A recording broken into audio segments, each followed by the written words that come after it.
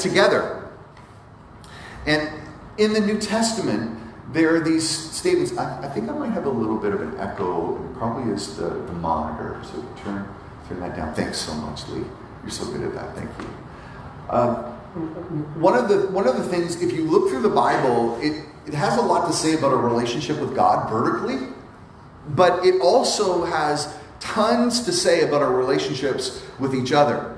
And there are kind of two words that pop up with different words attached to them. They have different angles to them and they have different directions. And that phrase is one another. And so we're going to be unpacking over the next couple of weeks the one, some of the one another's of the Bible. Today we're, we're starting with the big E love one another. And uh, there, there are a few more coming up. Uh, here we go. Today we're going to talk about loving one another. Next week we're going to look at forgive one another. That's going to be a toughie. God's going to do some hard work on us there. But, but I'm, I'm, I'm really glad, I'm really excited for that because it's so necessary. We all have those pockets where uh, it's tough to experience and grant that forgiveness to each other. Uh, week number three, we're going to look at encouraging one another. It's going to be a really positive week where we think about how we can practically encourage people and then bear with one another, how we carry one another's burdens. So, as you can tell, this is a series about relationships. And uh, so I want you to be thinking right now. I want you to be thinking over this, examining, taking stock of your relationships, because a lot of those relationships have challenges. Uh, like I know that there got to be marriages here in our midst where you're going through some real challenges right now, where maybe it's there's misunderstanding, maybe there's coldness, maybe there's distance, and something needs to happen. And I'm praying that somehow through this series that that match would be struck again, and you you just be able to realize both of you that that that it's worth working on, and a, a, new appreciation and gratitude, and some practical steps to be able to draw close together. And I'm praying the same thing for families. It could be like siblings, could be grown, or could be growing up in the same household right now. Could be between parents and kids, or it could be your, your aging parents, or it could be a, a like a brother or sister who's you've grown estranged to, and I'm praying that God reconciles through this. It could be a friendship. And, uh, and, and maybe for you, those friendships are lacking in your life. There might not be enough people in your life. And I'm praying that God gives us tools to be able to grow those friendships that we desperately need to battle the loneliness that sometimes we face. Then there's also, uh, above all, I want to be talking about the family of God because that's where, I, I want to be honest, that's where a lot of these one another's are directed to. God's talking to people who believe in Jesus and, and He calls them brothers and sisters. And how can we be an effective and a loving family of God? So I'm looking forward to this, but relationships are challenging. One of the kind of parables to me about what that looks like came from a news story in England. And again, this could have happened to, to anyone, but uh, it, it, started with this line. Heartfelt commiseration to Dorothy Naylor of Plymouth, whose recent day trip to Bridgewater was spoiled when her husband Oliver left her in a garage and drove 17 miles before noticing his wife was not in the car. Okay, right? Uh, uh, and, and as, they were, as they were interviewed after this, I couldn't believe that he left without me, she said. I usually sit in the back. I don't know what's up with that, but she explains that it's because she feels freer back there and she can move around more. I don't know what that is. But normally they talk to one another, but something happened that this couple who are both in their 70s, I mean, you know, they, they, they passed through a lot of seasons together, right? They, they, they, they were there to change a tire.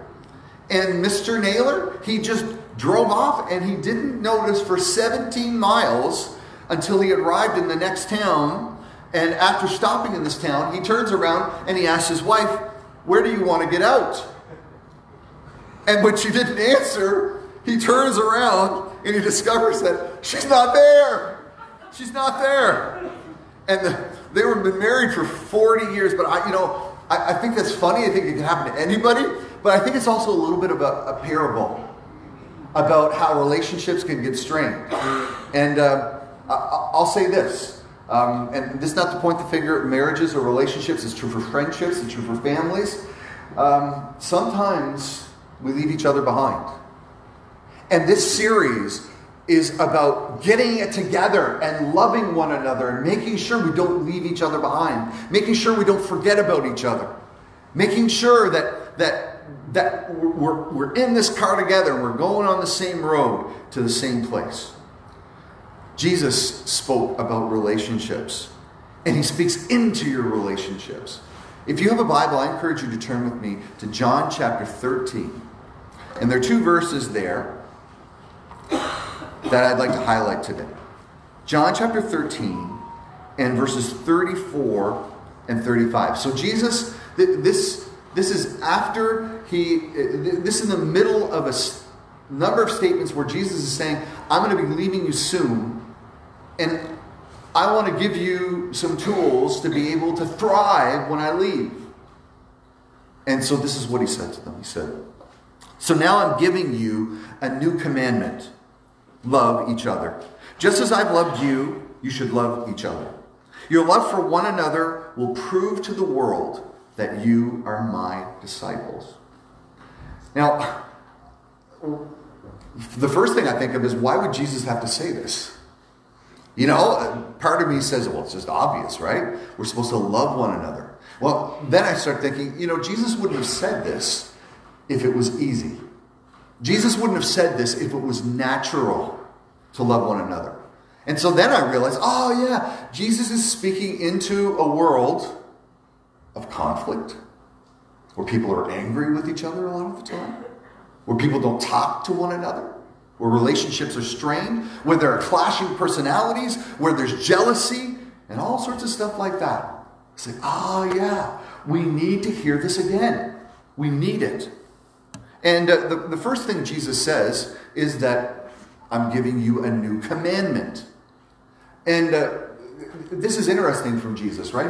He, he doesn't, he doesn't, although Jesus respects and builds on the commandments of the Old Testament, we don't often think about Jesus as a commandment giver, do we, right? We often think of him as someone who loves and, and, and, and someone who's looking after the heart. But no, Jesus says there's a commandment here, right? There are, there are things to obey, there are things to do, there's a road to walk. But when he gives this commandment, it's an incredible commandment. I mean, when you think about the commandments of the Old Testament, what does your mind think of? Well, you think about the dietary laws, right? Don't eat this and do eat that. You think about the, there are laws for everything, it seems, about how you dress and where you go and what you do on different days of the week. They're about moral codes. They're, they're about clear rules. They're about punishments for transgressions. They're about religious rules about how to worship properly. The Old Testament's full of them. But Jesus says, okay, here's the commandment love one another. Love one another. And so I feel like just even in the midst of this, Jesus is totally transforming that discussion about what does God really want from me? A different answer than the, the typical answers of religion. It's this love one another. That's what he wants.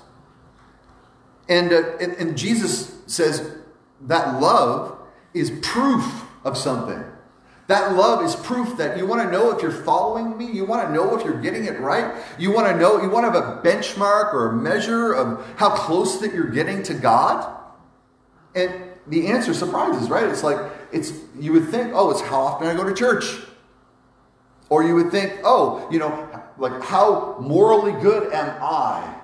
Keeping my name out of the papers, out of the rumor mill, right? Keeping my nose clean, not doing anything wrong. And those things are all good things, okay? There, don't get me wrong on that one.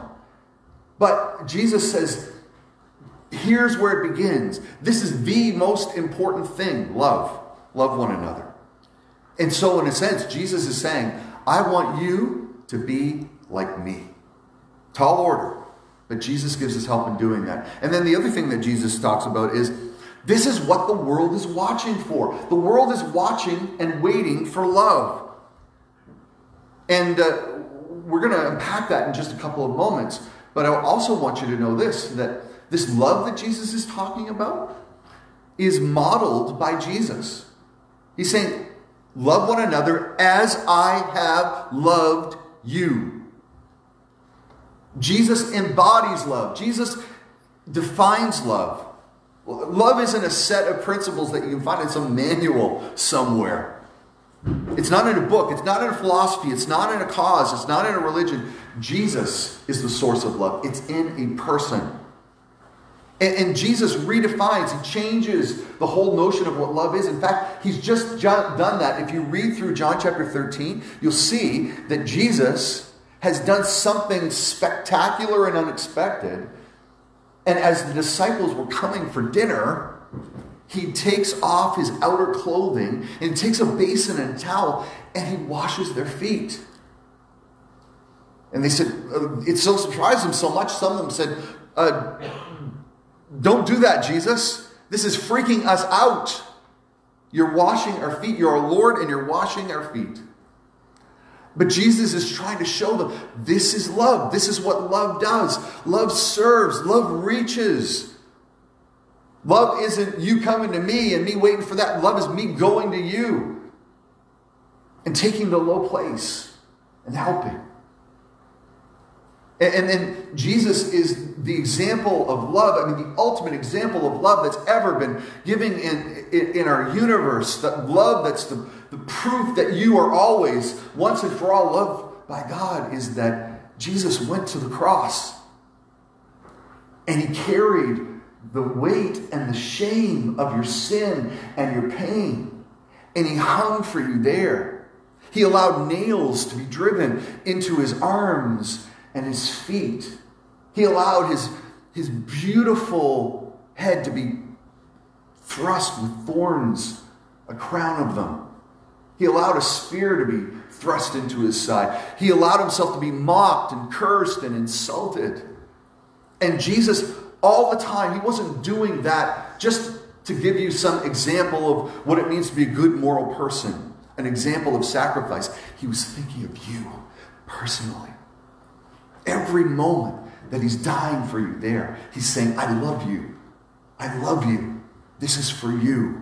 This is so you can be right with me. This is so you can have a relationship with me. It's incredible. Uh, why was Jesus known for his love? Well, his love is an incredible love. It's a one of a kind kind of love. It's a redeeming love. It brings people back. It changes people's lives. That's why we want to lead people to Jesus. That's, that's our why, to lead people to Jesus so they can have changed lives. Because Jesus' love redeems. It doesn't leave people where they're at. It doesn't leave them stuck in addiction. It doesn't leave them stuck in loneliness. It redeems people. It changes their story. That's the love of Jesus. It's a sacrificing love. It puts itself in harm's way and it, and, and it takes the lumps and it bears the weight of pain and it sacrifices. That's what Jesus' love did. It's an unconditional love. Uh, like one person put it, there's nothing you can do to make God love you more. There's nothing you can do to make God love you less. That's an incredible kind of love. And it's, it's an enemy love too. It just doesn't love people who love you back. It doesn't love just people who are neat and polite and, and uh, don't push your buttons. But it loves enemies. That's what it does. This is an incredible kind of love. So, the very first step, if you want to get on board with Jesus' program of loving one another, the first step to love one another is to be loved by Jesus and to know it, to experience that love for yourself. Uh, some of us, um, this gets opened up, the love of Jesus gets opened up by um, what you experienced in your, your family growing up. And for others, that's more painful story. But, but I know for me, um, there was a time years ago when, when I shared with someone, they were sharing their, their what we call testimony, that's kind of Christianese for their story of how Jesus has changed their life. And they were talking about like how low they went and how hard their growing up years were. And I mean, I just I hung on their every word, you know, it's just one of those kinds of stories. And and this was a good friend, and, and then I talked to them afterwards and I said, Yeah, like like I, kind of feel bad. I kind of feel like embarrassed or I kind of feel inadequate because like my story is, you know, I grew up, my family loved me. And most of them loved Jesus. And, uh, you know, they encouraged me. You know, they, they, they, they, they forgave me. You know, they were there. They didn't go anywhere. And I feel a little like, uh, I don't know what the word was I used. It was something like embarrassed, right? About that. I feel like my story is lesser. And they stopped me right there. They were like angry about this. And they said, Stop. Not for one minute should you ever think that your story is inadequate. God's done a work in your life. But you know what? One of the great parts of your story that I love is that you were loved by your family. That you got to taste what love is from your mom and your dad and your sister and your aunts and your uncles and your grandparents. Like you got, you grew up in an atmosphere of love. So you've gotten a taste of what God's love is like. And you need to share that with other people. It's like, I, I, I, I'm jealous of you, they were saying.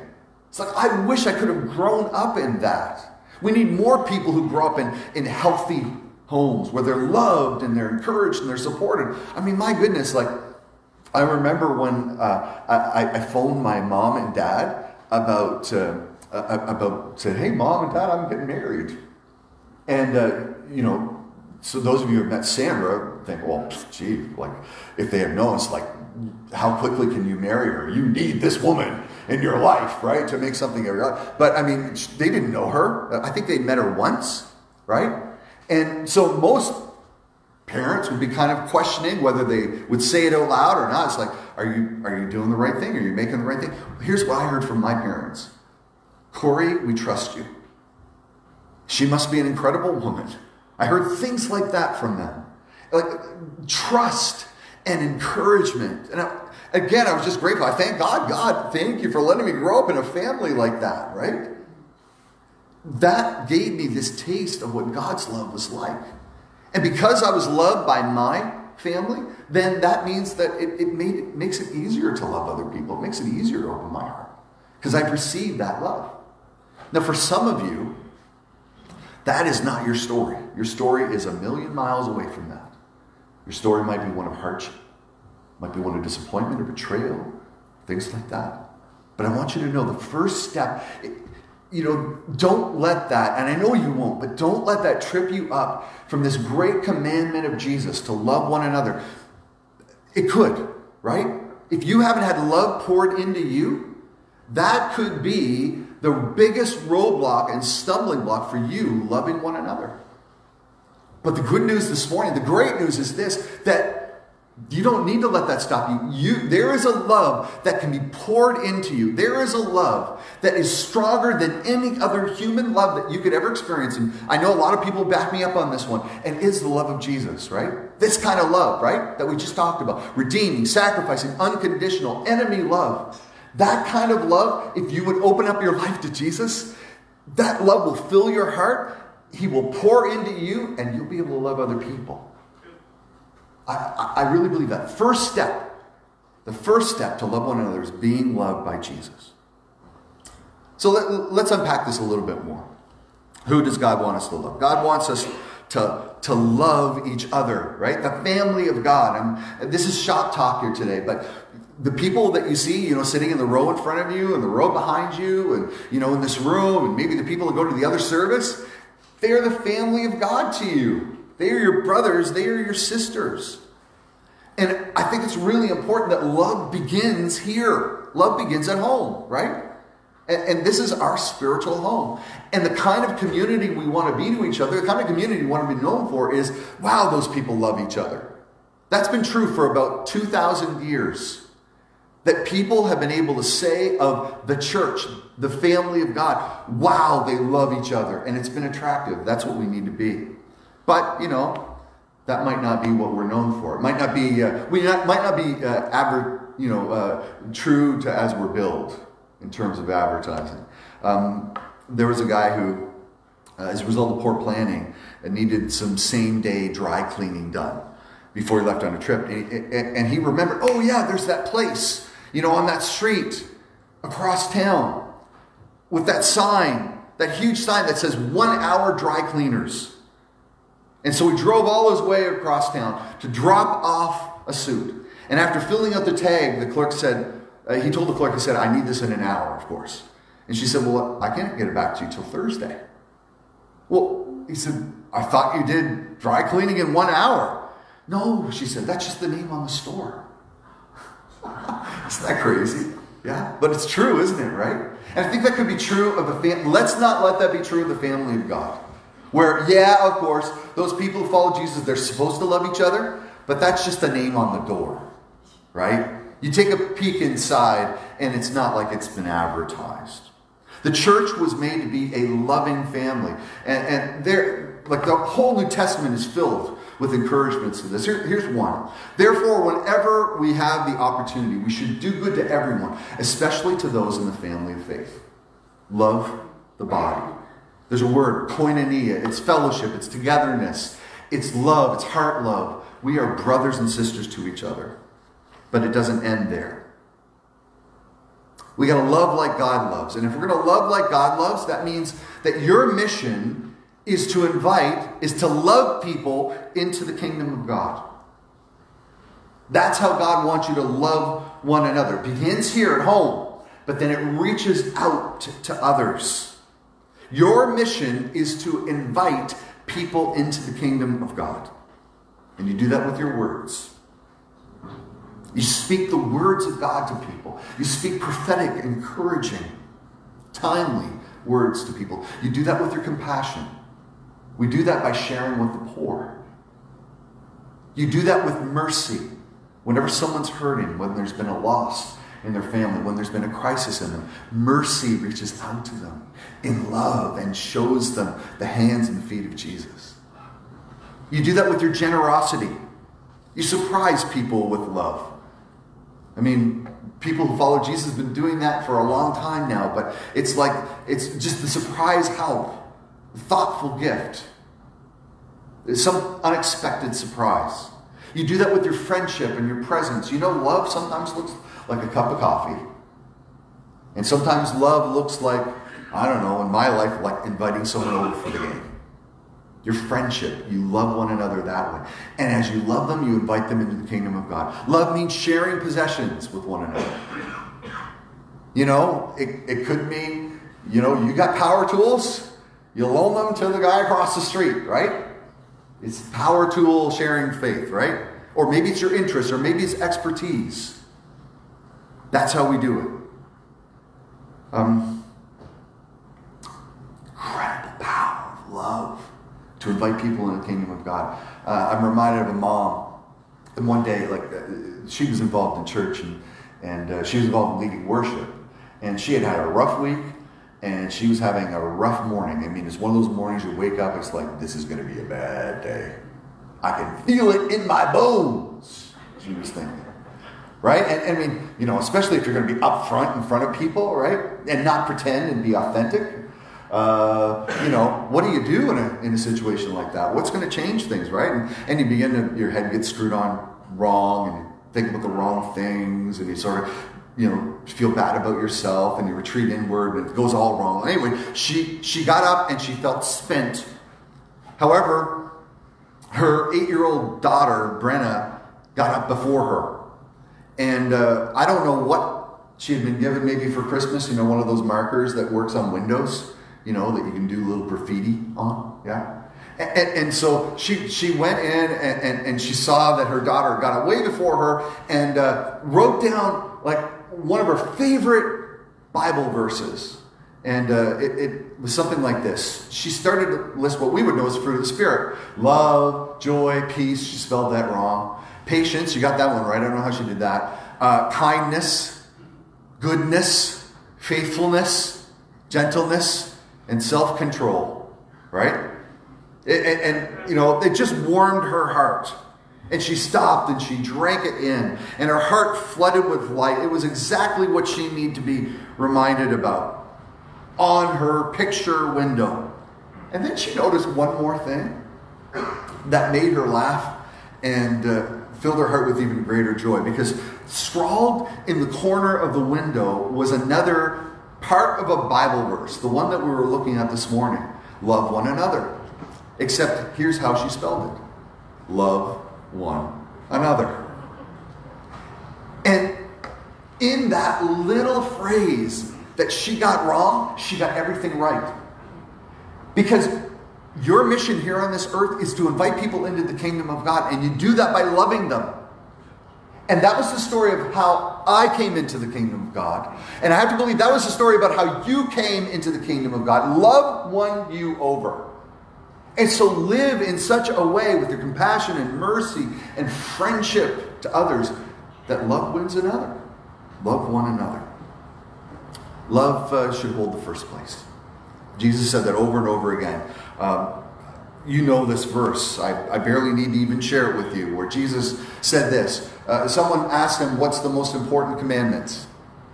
Which comes first? And here's Jesus said, He said, You must love the Lord your God with all your heart, all your soul, and all your mind. Love, right? This is the first and greatest commandment. First step, first place. And then he says, and not to denigrate, but this is the source of all the loves. But here's the next one. It flows right out of it, it comes right along with it. Love your neighbor as yourself. Love, right? Love one another and be loved by God. I'm praying today that, that God uses this to transform that marriage that's struggling right now. And I want you to be dreaming right now and asking God to prompt you God, how do you want me to love my partner better this week? What can I do to show them in a practical way your love? How can I go the extra mile? I want you to think about that. You know, children to your parents, parents to your kids.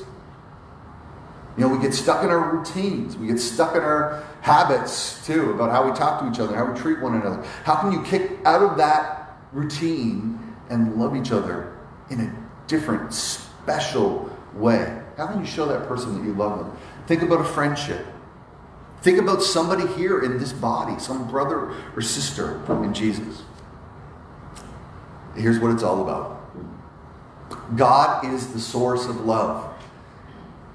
And you want God to pour his love into your life.